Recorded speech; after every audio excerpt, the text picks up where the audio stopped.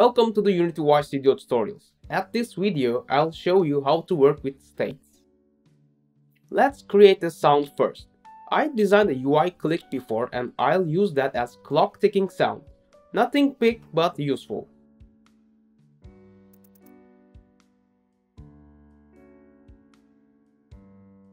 In Wwise, import that clock sound to a sound SFX and put that SFX inside the sequence container then make it looping infinitely.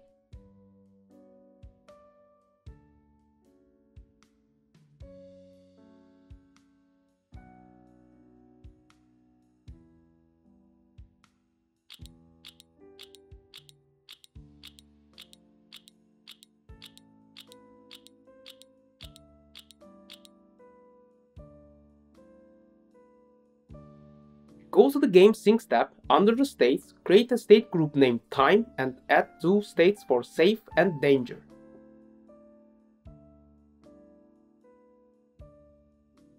Add the sequence container, find States tab inside Property Editor then add state group we created. This container will play infinitely but whenever we are in safe state, it won't be heard. And in danger state, that will be at normal voice levels so that we will achieve a danger zone gimmick with some scripting.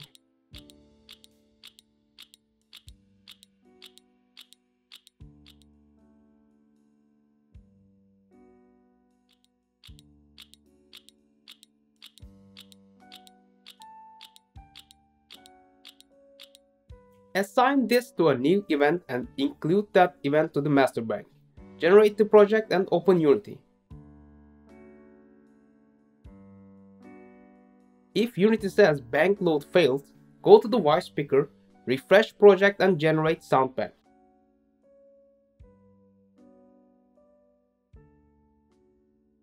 I'll play that clock sound in 2D space. It won't be affected by the listener. So I start that event in my audio manager that plays the background music already. Open the script and add that event like background music one. Check the validity of selected event and post it at start.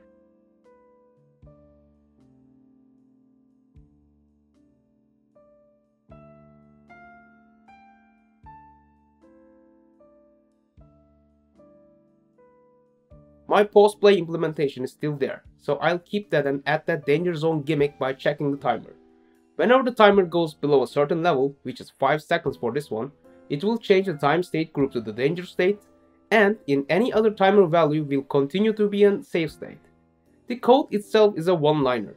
aksoundengine.setState, then state group as a first parameter, then state as a second.